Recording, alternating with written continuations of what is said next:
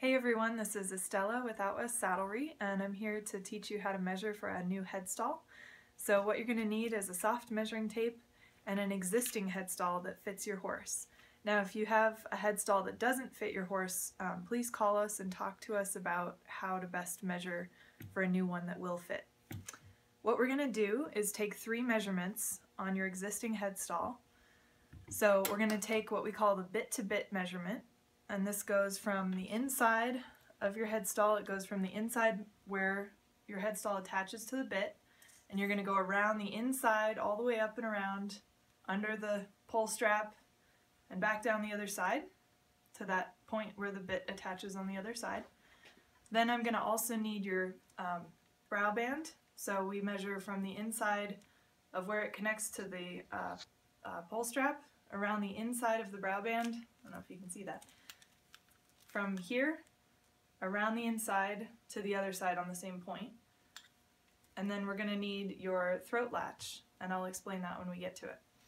So first with the bit-to-bit, -bit, the way you do that, so you're going to take your soft measuring tape, you're going to start right where your bit attaches, and you're just going to start kind of pinching the tape to the headstall, keep it nice and tight, go around the inside, not the outside, that's very important.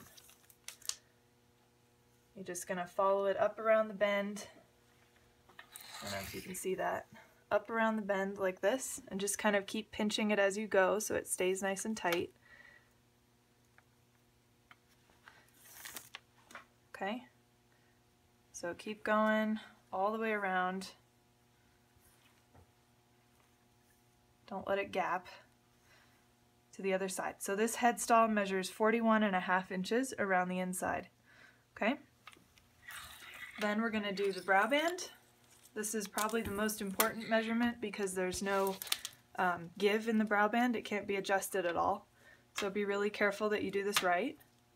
So you're going to take your measuring tape and you're going to start where the brow band connects to the poll strap. We don't want you to go past this point right here. Don't measure over your concho, don't measure to the back of your pull, uh, throat latch, just measure right from the front here, okay? But do it on the inside, right from that point, do it from the inside, and then just pinch it as you go around. Don't lay it out flat, we need it round. And keep going around, just pinch it nice and tight. Okay, take your time. Okay. So when we get to the other side, that measures 12 and an eighth inch right there. You see that? So we don't go past this point. Stay there. All right, and then the last one is your uh, your throat latch.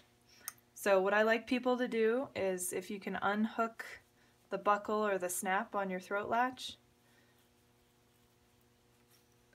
and you're to stretch it out, and they're pretty long. Just kind of adjust your bridle to where you can get your pull strap to lay flat. Okay. And then we're going to measure from the fold over, where your leather folds over the buckle.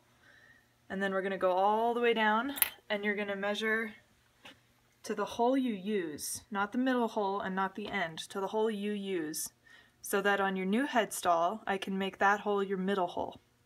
Okay, so you just take your tape measure, start at the fold over there, and you're just going to run it down. Keep it nice and tight. Run it down, oop, run it down like that to that hole you use. So in this case it would be 39 right there, okay? And then when I'm making it, I will add the rest onto the side. So I hope that explains better how to measure for a new headstall, and I look forward to making one for you. Thank you.